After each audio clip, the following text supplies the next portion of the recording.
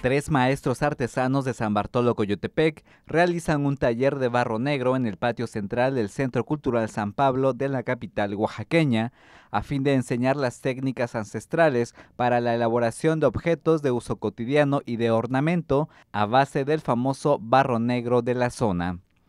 Este curso está coordinado por la Fundación Alfredo Harp Elú de Oaxaca, a fin de que los participantes conozcan los procesos completos de elaboración de artesanías, valoren el trabajo de cada artesano oaxaqueño y compren a precios justos cada pieza elaborada por maestros del arte popular.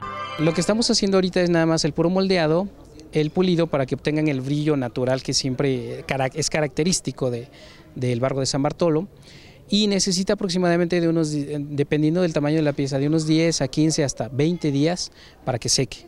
Una vez que ya está seco, entonces se introduce en el horno y se produce la quema con una, duración de 10 a 16 horas dependiendo de si son para contener líquidos o si son nada más para ornato. Ahorita con ellos, eh, una vez que terminemos el taller que terminamos el día viernes, eh, lo que vamos a hacer es conservar las piezas para que sequen en tiempo y en forma y vamos a contactarlos nuevamente para que asistan a la quema. Lo que estamos haciendo es, eh, estos talleres tienen ese fin, el que vean que tiene un proceso tardado, es un proceso delicado, es un proceso de mucha paciencia y precisamente lo que buscamos es eso, que a la hora o al momento de que vayan a adquirir alguna pieza, no solamente de barro negro, sino de todos los barros, que es, de todas las artesanías de Oaxaca, eh, pues no digan, ay, déjamelo a menos precio, ¿no? O, o si me llevo tantos, ¿a cómo me los das?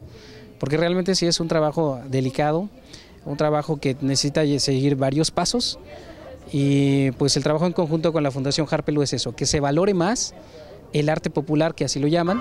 Niños como Aitana acudieron a este taller aprovechando que aún se encuentran de vacaciones, así como por el gusto de elaborar piezas únicas, aprender más de las costumbres y tradiciones de los municipios conurbados de Oaxaca y elaborar objetos de su imaginación.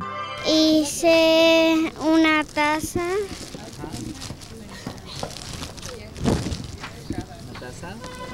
Hice un perrito. Hice un canasto.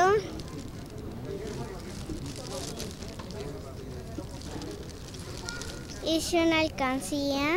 Aprendí que el barro sirve para muchas cosas.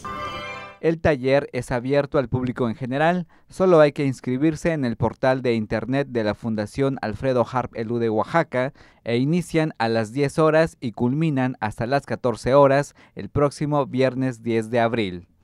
Con imágenes de Alan Ramírez para MBM Televisión, Celestino Chacón.